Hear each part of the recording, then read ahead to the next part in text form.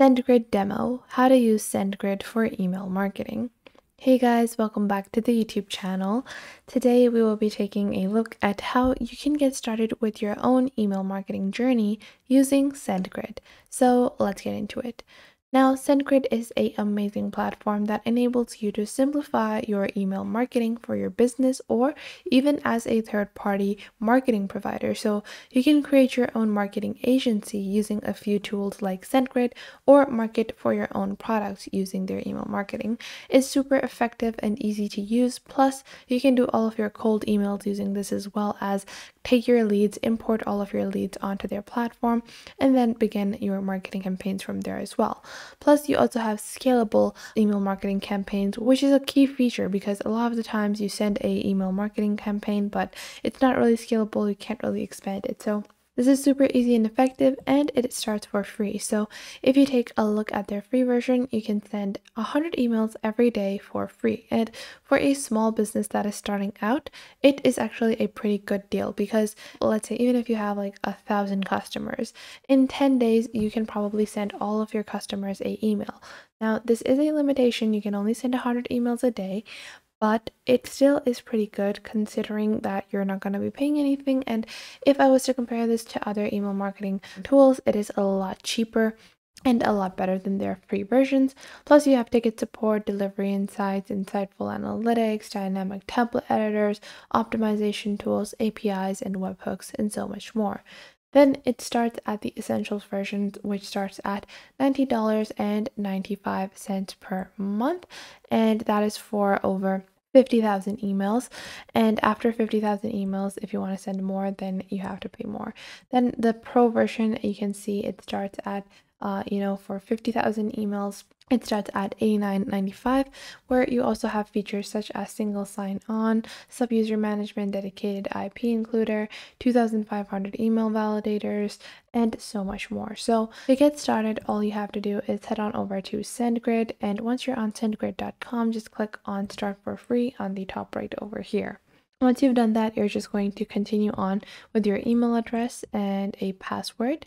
And once you have done that, you're going to continue on and provide all of your information. Now, I have previously created an account, so I'm just going to log on over there. But if you don't have an account, just fill out this basic information and you will be headed to the where it's the same page that I'm going to. It's just your basic information, your phone number, your, um, you know, role, how many emails you want to send out, so you can see over here, this is my account and I've just signed up using my new email and this is what your welcome page is going to be like. Now, to get started with SendGrid, you can see on the left side of your screen, you have a navigation panel. In this navigation panel, you will find your dashboard, your email API. Now, in your email API, you have two sub features. You have your dynamic template and integration guide. So if you open up your dynamic templates over here, we're just opening these up and you can see over here that you can click on create a dynamic template and you can begin by creating your first email template. Let's say it might be a welcome to our business or thank you for your purchase email. So I'm just going to create a welcome email template and I can click on create. And now I can open this template up and click on add version. And now I can open up a blank version or I can even click on the SendGrid email designs and you can see these are some of their amazing preset designs and I can just use these email designs and I can copy these and enter my own information instead.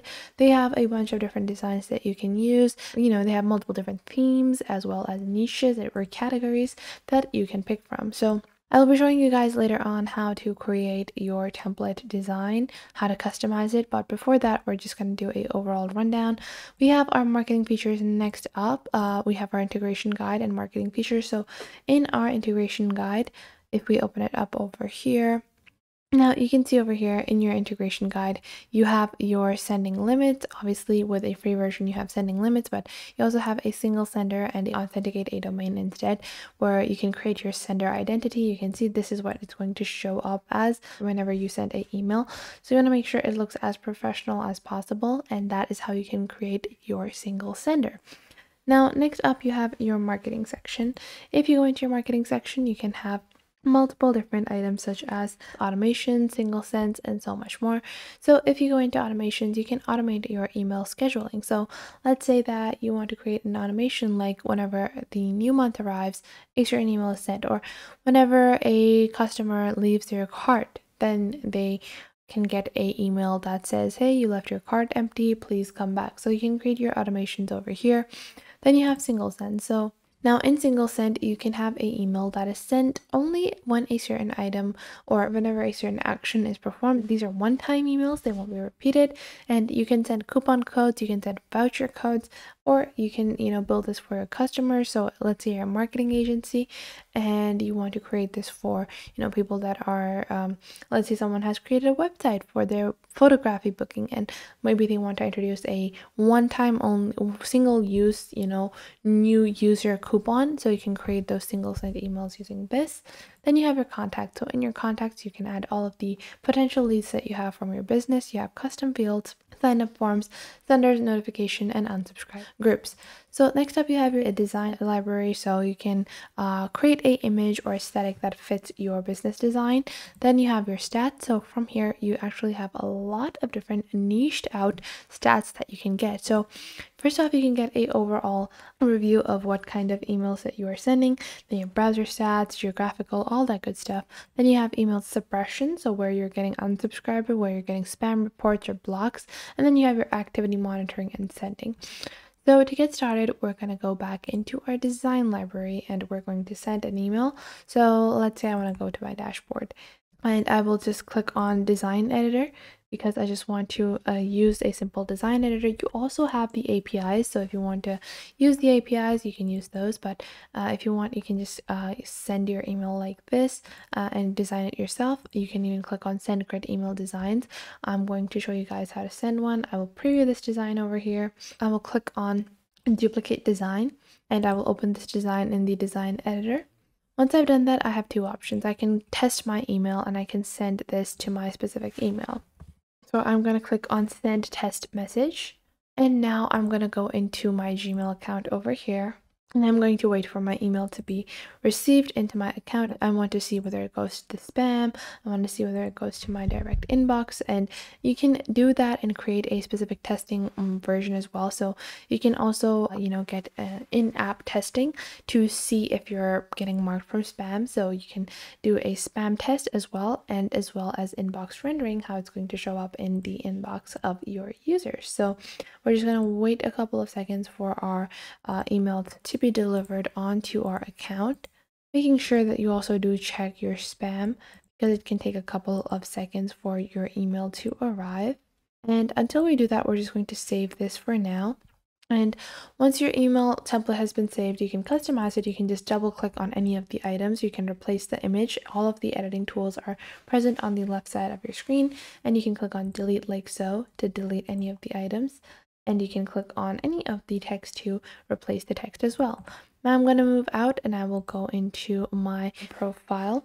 So now you can actually go into your marketing and click on automations and you can automate a certain email you can automate a certain um, you know email. So uh, you can see i created this welcome email and i can greet new contacts whenever they are here. I can build my own custom automation. So let's say whenever someone um, purchases you know a certain amount of product i want to send them an email. So i can click on select over here in the custom section and add those input variables as well.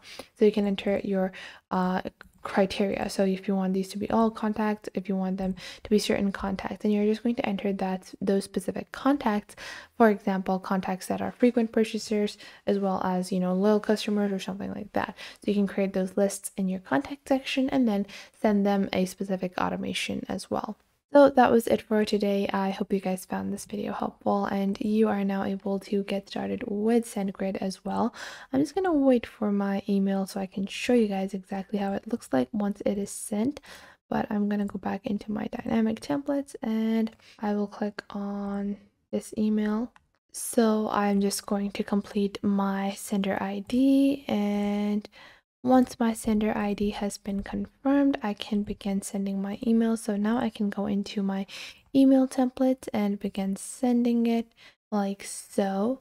And now in this way, you can begin sending your emails. It's super easy. You can click on create single send, you can click on select, and you can just send your emails as they are and customize them however you like. I hope you guys found this video helpful. Make sure to leave a like and subscribe to the YouTube channel, and I will catch you guys in the next video.